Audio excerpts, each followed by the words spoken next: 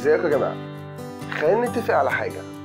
الحاجة دي هي إن إحنا كبني آدمين وكشخصيات ما تكوناش في يوم وليلة. إحنا اتكوننا نتيجة خبرات وتجارب كتير مرينا بيها من يوم ما اتولدنا لحد اللحظة اللي إحنا فيها دلوقتي. ومش بس كده إحنا هنفضل نكون في شخصيتنا لحد آخر يوم في عمرنا. والتجارب والخبرات اللي أنا مريت بيها غير التجارب والخبرات اللي انت مريت بيها. الظروف اللي انت عشت فيها غير الظروف اللي أنا عشت فيها.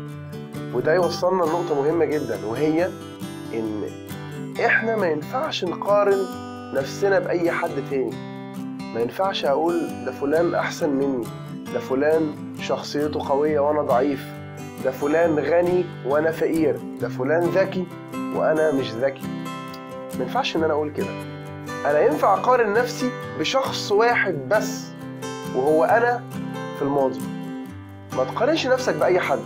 مالكش دعوة اللي قدامك ده ناجح ولا فاشل الشخص ده أنجح منك ولا لأ قدر يعمل حاجة في حياته ولا لأ. ابدأ بنفسك. خليك في حياتك خليك في شخصيتك خليك في مستقبلك أنت بس. ركز مع نفسك أنت بس. أنت مش مسؤول عن أي حاجة غير نفسك. مسؤول عن شخصيتك مسؤول عن هتكون إيه في المستقبل. لكن أي حد تاني ممكن ينجح ممكن يبقى ناجح في حاجة معينة في حياته. ده مش معناه إنك فاشل ده معناه إنك محتاج تشتغل على نجاحك محتاج تمشي في طريق النجاح. اعمل كده وملكش دعوة بأي حد ملكش دعوة بأي حد مش أنت لأن الحد ده خبراته وتجاربه غير خبراتك وتجاربك. ظروفه وحياته غير ظروفك وحياتك. محدش فينا اختار يتولد في أسرة فقيرة ولا في أسرة غنية.